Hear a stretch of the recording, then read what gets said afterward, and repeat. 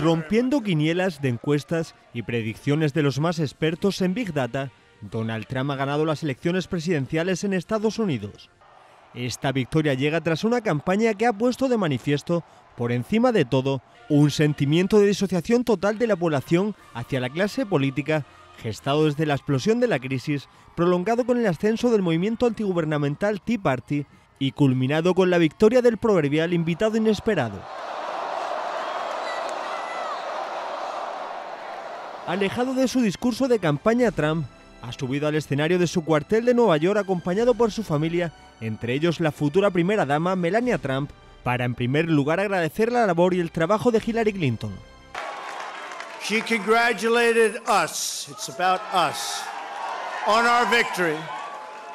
And I congratulated her and her family on a very, very hard fought campaign. I mean, she, she fought very hard y después autoproclamarse un presidente para todos, reclamando la unión de los partidos. To all Republicans and Democrats and independents across this nation, I say it is time for us to come together as one united people.